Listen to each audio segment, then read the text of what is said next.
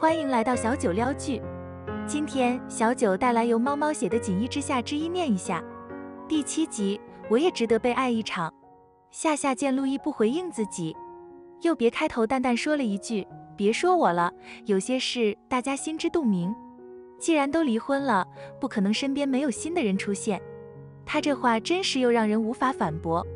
陆毅轻哼一声，对老严说道：“今晚的菜真不错，好吃。”他端起碗来，很认真地吃着。夏夏低头，他不争气，又再一次想落泪，只是拼命忍住了。蓝叶和老严对看一眼，后知后觉地发现，他们两人反常的克制，应该是因为他们在场。老严哎哎呀一声，我这人吃饱了饭就想抽烟，家里烟还有吗？蓝叶没了，我下楼给你去买。老严，那正好，我再去买点果汁，你们先吃，我们马上回来。屋内很快就只剩下夏夏和陆毅。夏夏放下筷子，深吸一口气，我不想装了。有什么话你直说吧。陆毅抬头盯着夏夏，想从她面上看出撒谎的蛛丝马迹。你真的有男友了？夏夏，对啊，需要给你看照片吗？陆毅，为什么要交男朋友？这个问题问出口，陆毅也觉得自己可笑。夏夏笑笑，我是一个单身女人，你知道的，女人需要什么？不仅仅是需要金钱，需要爱，还有身体需要。所以你说我为了什么？他知道他最在意什么，所以他非要往他心里扎。陆毅眼底似是不敢相信，他知道自己很天真，很愚蠢。他曾经多少次在床榻间吻着她泛着红晕的脸颊，问他：“你这辈子只有我一个男人，好不好？”或许那时的他不能给夏夏带来富足的生活，可是他却可以满足她，让她醉生梦死。然后亲口听见他说他有爱与身体上的需求，这些年看似平静的心一刹那就碎了，他气疯了，哪怕他没有资格生气。陆毅反问：“你说真的？”夏夏点点头：“对啊，难道你没有？”他很认真的在问。陆毅晃了晃茶杯，低声道：“我还真没有，他这些年一心都放在赚钱上面。”夏夏看着老严新房门上还未撕去的喜字。他心很痛。有句话说得好，你在想伤害别人的时候，其实最伤害的人就是自己。他在他面前逞强，在他面前伪装，他只想让他知道，就算没有他陆毅，他也是有人爱的女人，也是能生活的很好的女人。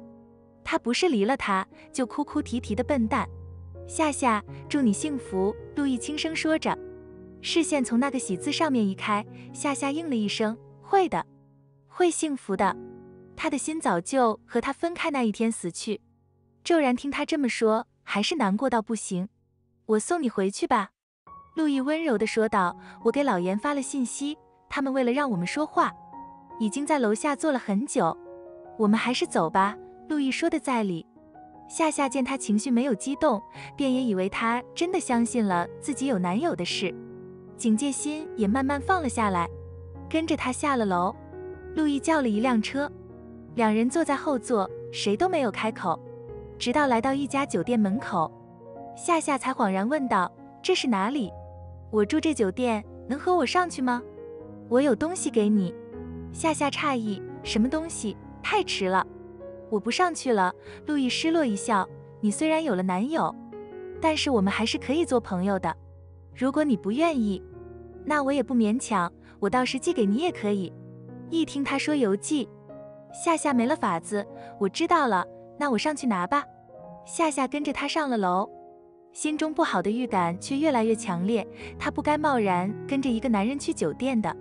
她停住脚步，那个我还是不去了，不好意思，东西不用邮寄给我，我不好收你东西。她终于恢复了一丝理智，转身就要走。陆毅拉住她的手，打开房间，将夏夏拉了进来。门一瞬间关上，夏夏瞪着眼睛看着眼前的男人陆毅，你再这样，我报警了。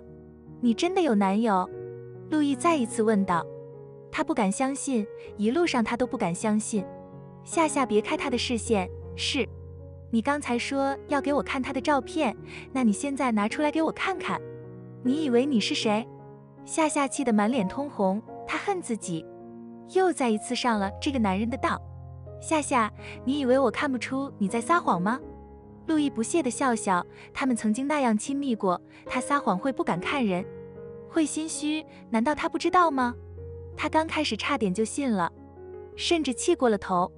后来仔细一想，她要是真的有男友，为什么她吃完饭要回去？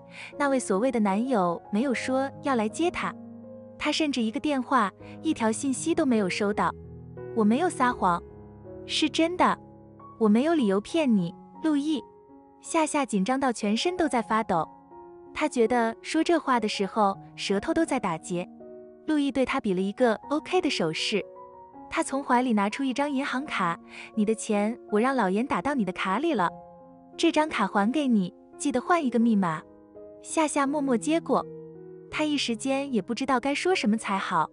这么多年的离别，他们都变了，他不是当初那个夏夏，他也不是当初那个陆毅。最可笑的是，他们分开之后反而越过越好了。陆毅有了属于自己的事业，而他不能说很成功，但至少也有了稳定的生活与工作，可以和妈妈生活在一起。他已经很满足了，就这样吧。这世界就是这么现实，谁离了谁又会过不下去呢？以前他傻乎乎的以为陆毅离开自己会过得很不好，没想到他离开自己。反而是一场重生。夏夏，这些年我想了很多，是我做错了，我不该这么轻易和你离婚的。那时的我真的不是人，你能不能再给我一次机会，原谅我？这段话，陆毅在心里藏了很久，说出来整个人都轻松不少。夏夏抬头看着陆毅，想从他脸上看出这段话的真实性。末了，他深叹一口气，过去了，都过去了，我放下了。你也放下吧，陆毅。他很认真地唤着他的名字。晚上喝的红酒微微上了头，他只觉得惆怅，说不出的惆怅。为什么？为什么人生这么爱考验人的理智呢？我们重新开始，好不好？陆毅站在灯下，昏黄的灯光照在他的脸上，让他看起来竟然多了几分深情。这是错觉吗？或许吧，夏夏在心里苦笑，她怎么可能会在陆毅的脸上看到深情二字呢？我说了，我已经有男友，我们不可能了。他再次重负道，说完便转身想走，再留下来不过是纠缠这些没有意义的话题。他好累，想回家好好睡一觉。陆毅狠狠将他拽到自己的怀里，夏夏脑袋撞到了他的胸口，只觉得头晕眼花，几乎要站立不稳。陆毅扶着他的腰。四目相对，夏夏感受着那一股熟悉的气息。过去，他最喜欢躺在他的怀里，哪怕一天的工作再辛苦，只要回到家抱着他，所有的疲惫就一扫而空。这大概就是爱情的治愈力吧。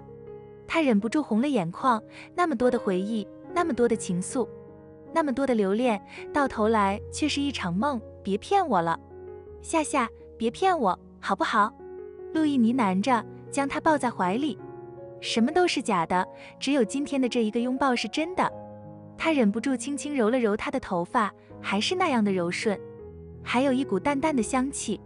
这股香气激起了他久违的悸动，他的心烫烫的，几乎要将自己燃成灰烬。靠近他怀里的那一瞬间，夏夏的泪再也忍不住了，他忍不住小声抽泣起来。这些年，他一直觉得自己很坚强。偏偏面对他，他才发现原来自己是这么的脆弱，不堪一击。夏夏再也没有力气了，他没有力气和他争辩，和他逞强。他好累，好累，累到无法动弹。